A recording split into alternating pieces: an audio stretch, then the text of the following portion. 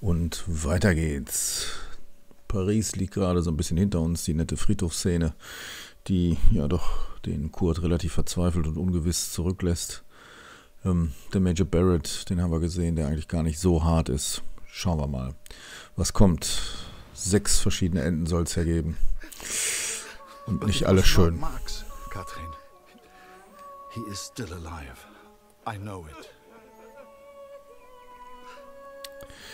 Wunderbar. Die Hoffnung ist noch da.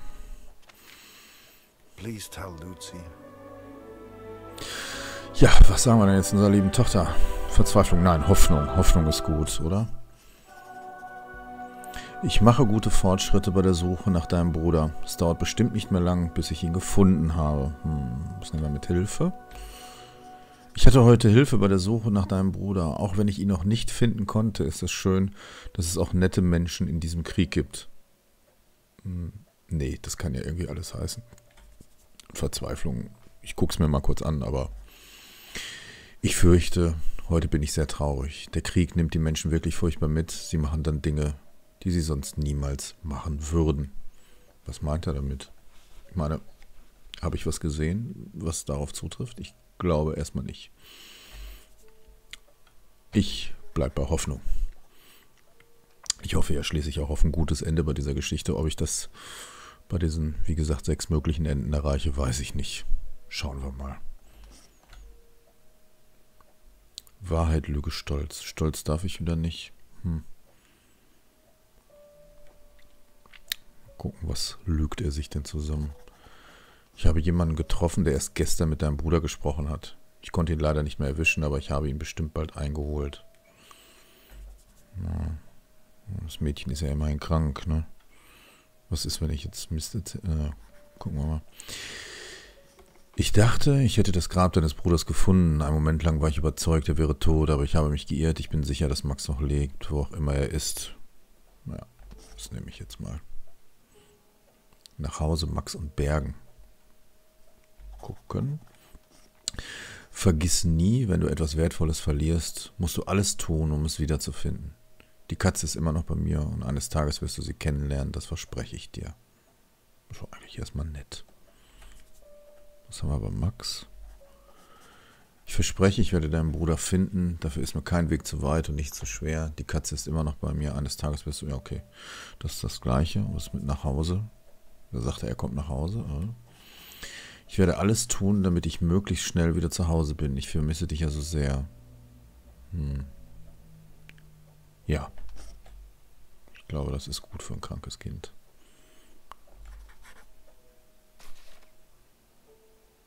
The cat is still with me. You will meet her one day. I promise.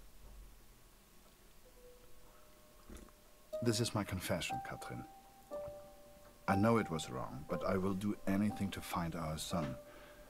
I must. I pray for Lucy's health, and I will return as soon as I can. My thoughts have become dark of late. The others treat me differently now. Perhaps they know what I did. I fear what will become of me if I stay here too long. I do not know where Max is. And I'm running out of places to look. Barrett was never the same after that day. I tried to talk to him. Tried to thank him for showing me Paris. But he wouldn't even look at me. So I kept my mouth shut over the next few weeks and kept taking photos. They put more and more of my pictures in the papers back home. Fully credited. I felt like a star.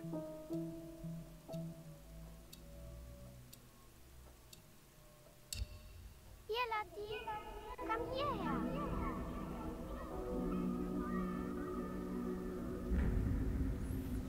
Okay, jetzt bin ich wohl die Katze. In einer, naja, eher surrealen Welt, ne? Von der Farbgebung. Mal gucken. Ach nee, jetzt aber bitte nicht als Ergebnis, dass die Tochter dann stirbt. Hm.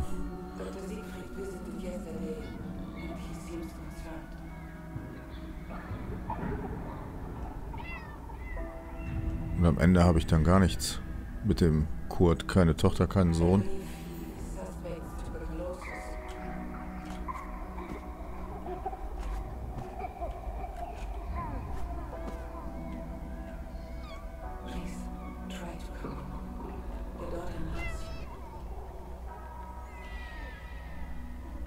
Hm, hoffentlich nicht die Andeutung eines Geists der Tochter. Und dann das Ganze auf dem Friedhof. Hm.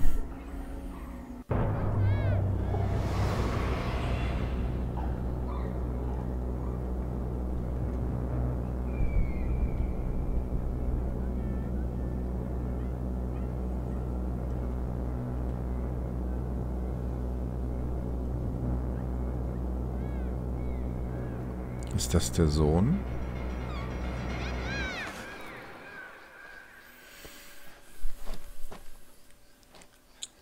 Every night I have the same dream, Catherine. It is so vivid. The cat finds our son's body in a field of flowers. I see it whenever I sleep. Last night, the dream was different. I saw a dead tree amongst the flowers. The same tree exists out on no man's land, here at the Somme.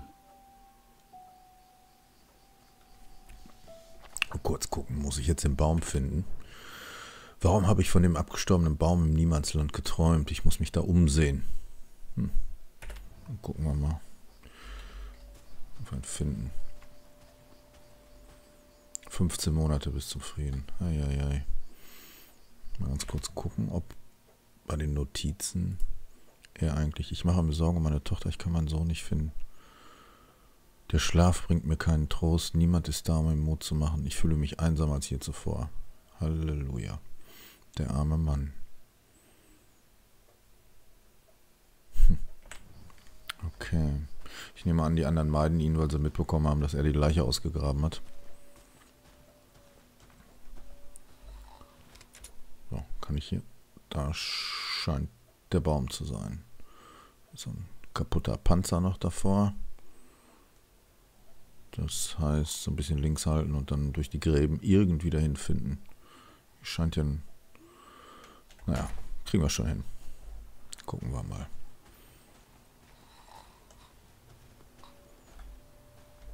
Muss ich da hochklettern? Mal sehen.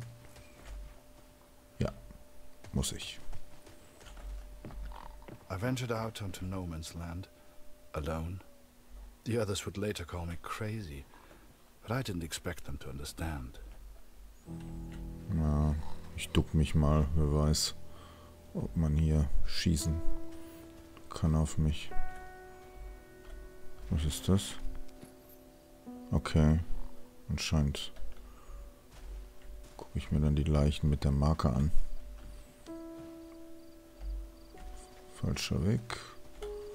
Ah, hier hakt es wieder ein bisschen.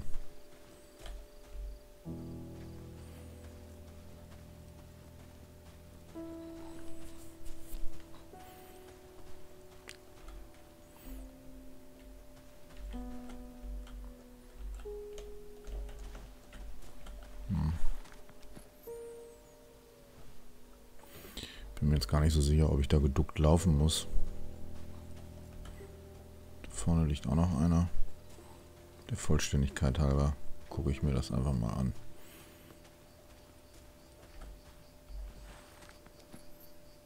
The corpses on no man's land tell their own stories of battles won and lost.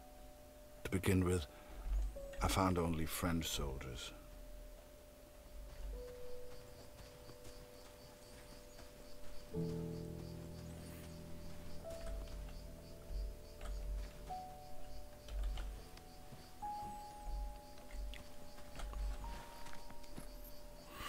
Ja, alles Franzosen.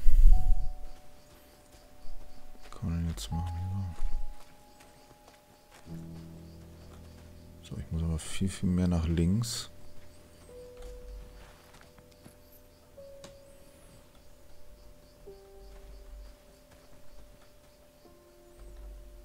Ja, die sparsame Musik passt ja eigentlich auch ganz gut dazu. So ein bisschen die Geräusche vom Wind.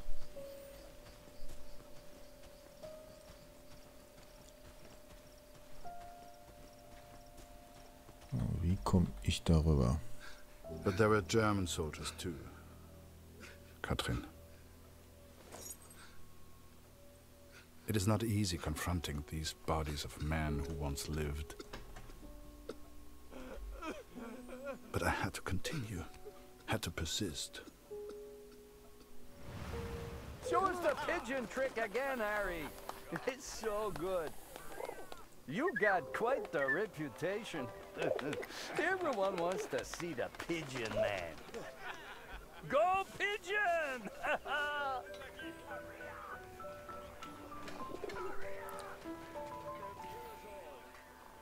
Die Tricks werden meinen Freunden gefallen, ne?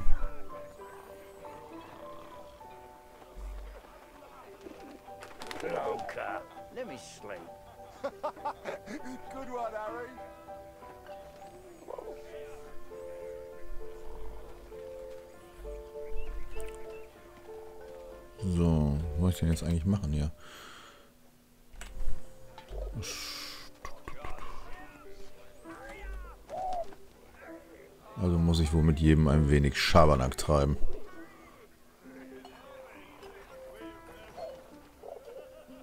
Hey, Harry. Still in Barrett's bad books?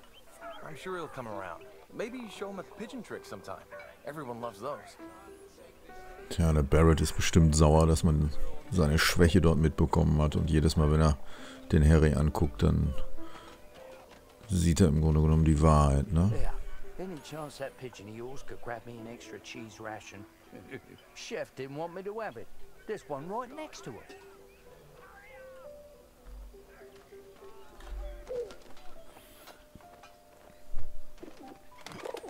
Damn bird. Ups. Boy, that's not your cheese. You're a star. Give it back. I tell you, Harry, today's a good day for eating. I got an extra cheese ration.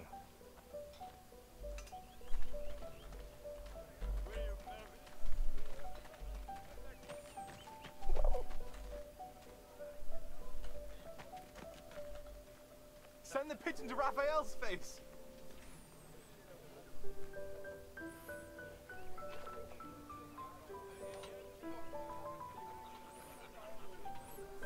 Der meint jetzt aber nicht den Mann an der Munition, oder?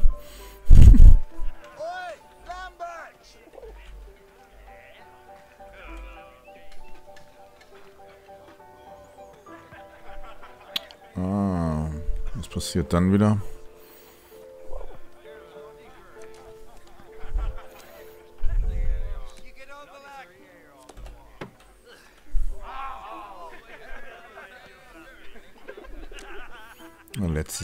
Mussten wir ja den Major so zum Aufstehen bewegen.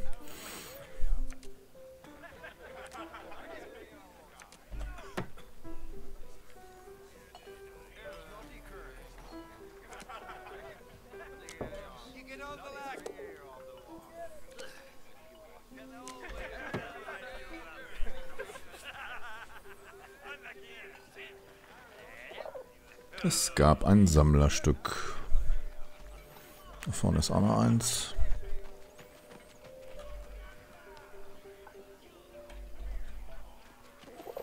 Und damit haben wir das dann vollständig.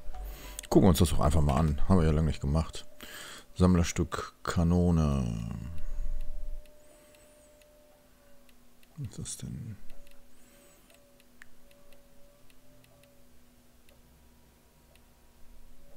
Da ist er. Mal sehen. Die Anzahl der für den Ersten Weltkrieg geschmiedeten Feldgeschütze ist fast unglaublich. Mehr als 3000 Stück verschießen allein in der Schlacht von, was? Passchendaele? Pa Passchendaele? Paschen- 4,5 Millionen Granaten. Man stelle sich nur einmal die Größe und das Gewicht eines Rohres vor, das eine 280 Kilogramm schwere Granate kilometerweit auf ihr Ziel verschießen kann. Einige Modelle wurden für ihre Effizienz und Präzision weltberühmt. Mindestens drei Soldaten sind erforderlich, um ein Feldgeschütz zu bedienen. Naja, also so gibt uns das Spiel dann noch nebenbei ein paar Informationen. Was haben wir denn hier bei dem? Der Klatschmohn. Das Symbol der Mohnblume kommt wahrscheinlich aus der Region Flandern. Nach den furchtbaren Schlachten, die dort 1914, 15 und 17 tobten, düngten im Niemandsland zurückgelassenen Gefangenen den Boden und im nächsten Sommer sahen die Soldaten mit Verwunderung kleine Mohnbeete, wo die Toten gelegen hatten. Dieses eindringliche, eindringliche Bild von wunderschönen Blumen die auf menschlichen Körpern wachsen, findet sich in Schilderungen vieler Zeitzeugen. Die Mohnblume ist heute das Symbol des Gedenkens an die Opfer des Krieges und viele Menschen tragen am 11. November eine dieser Blumen, um die Soldaten zu ehren. Also ich weiß nur, dass Mohnblumen da wachsen, wo wenig Nährstoffe in den Feldern sind. Okay, machen wir weiter.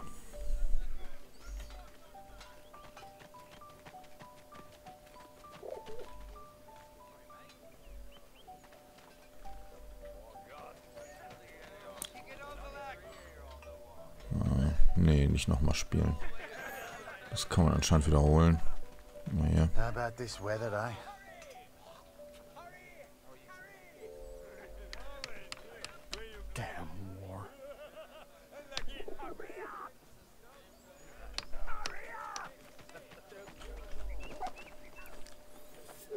Hoffentlich passiert nichts. Oh, Jesus Christ!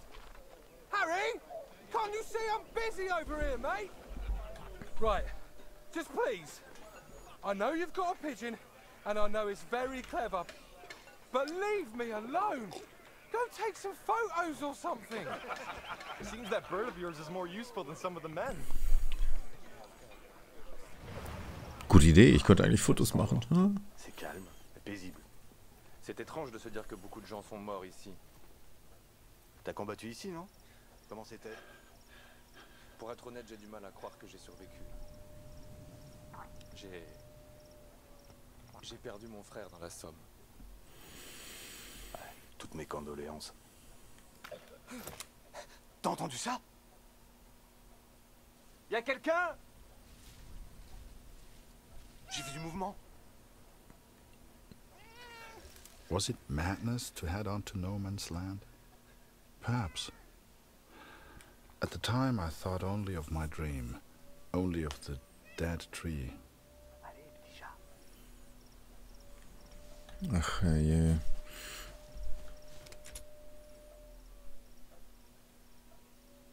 Ich glaube, jetzt gehen die rüber. Dann sehe ich niemanden. Gut, vielleicht kann man. Vielleicht kann man sich. Hm. Ich könnte jetzt auch mal probieren, in die Katze zu schlüpfen. Und vielleicht kann die ja Franzosen irgendwie ablenken. Komm her, kleines Kätzchen. Na dann.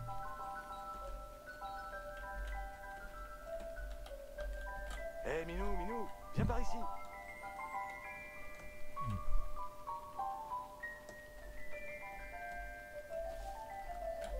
Tu peux pas sauter d'ici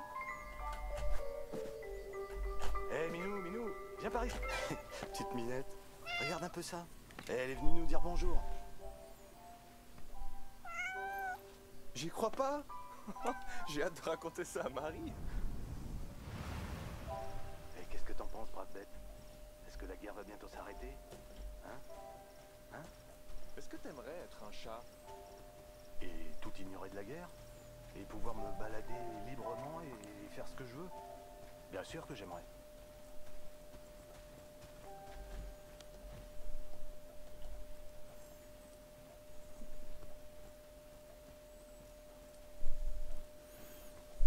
So, ich hoffe mal, dass das mit der Katze richtig war. Und die, die jetzt ein bisschen ablenkt. Aber wie soll ich denn bitte schon bis an den Baum I kommen? found three bodies from Alpirsbach. Boys from home. I'm so sorry. The first was Karl Günther. Please give his family my condolences.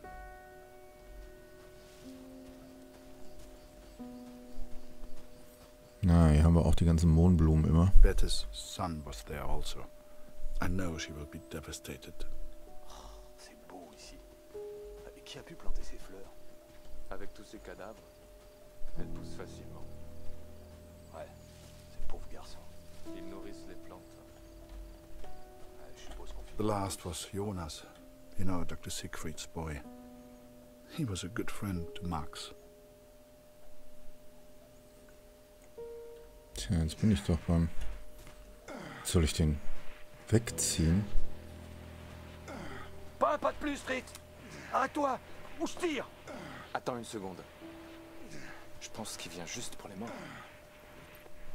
Ja, bitte seid nett zu mir. Oder zu dem Kurt. And though Max was not there, these boys were all someone's son. All these boys deserved a proper burial. I became consumed by the task. It takes its toll on a man, the constant presence of death.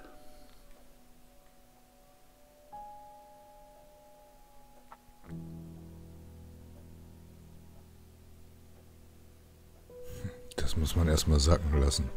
Harry Lambert, you say?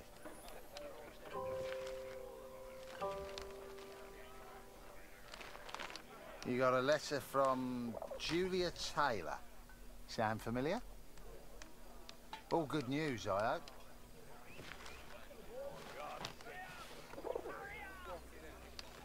Dear Harry, it is simply not the same here without you.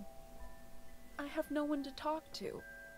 And if I didn't know him better, I would say that even father misses you. Thank you for your photograph, Harry. It is wonderful to see so many different kinds of people all working together for the greater good. It warms my heart. They say back home that the war will be over soon. You shall be home before you know it. I do enjoy receiving your pictures. Please send another when you get a chance. Sincerely yours, Julia. Hm. Ja, dann würde ich da vorschlagen, dass wir ihr gleich nochmal Bilder schicken. Ich tendiere da jetzt irgendwie zu den Pariser Fotos. Weil hier jetzt habe ich ja noch keine gemacht, da wo ich mit der Taube so ein bisschen meine Späße treibe. Aber ähm, das würde ich jetzt einfach mal verschieben. Sind schon wieder irgendwie gute 22 Minuten rum. Ähm, damit das alles nicht irgendwie zu lang wird, verschieben wir das einfach auf das nächste Mal. Und dann gucken wir mal, welche Bilder die gute Julia bekommt. Also bis dann in dem Sinne. Ab. Wir hören uns in der nächsten Folge. Bis dann. Tschüss.